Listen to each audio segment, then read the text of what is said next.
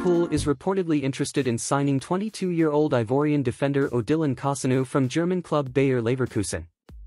According to a report from The Sun, Liverpool is keeping Odilon Kossounou on their watch list after he failed to secure a transfer to West Ham United earlier this summer. The Ivory Coast international was linked with a transfer to the Premier League, but the transfer did not materialize.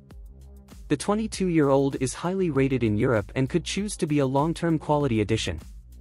Liverpool needs to bring in defensive reinforcements, especially with Joe Gomez and Joel Matip struggling to perform at a high level. Ibrahima Konate and Virgil van Dijk are the only reliable defenders at the club at the moment.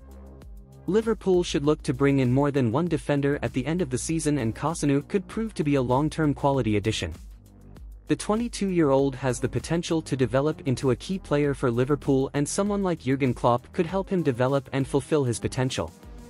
The report states that the Ivory Coast international would jump at the chance to move to Liverpool. The Reds are one of the biggest clubs in the world and it is no surprise that the defender is interested in the transfer. It will be interesting to see if Liverpool can agree on a fee with the German club now. The Reds did well to improve their midfield options this summer, but will need to address their defense in the coming months.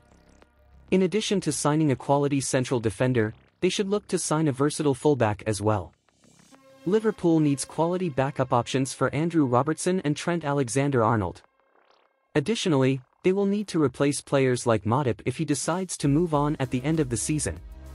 Kossounou has the attributes to adapt to English football and would be an excellent option for the Reds.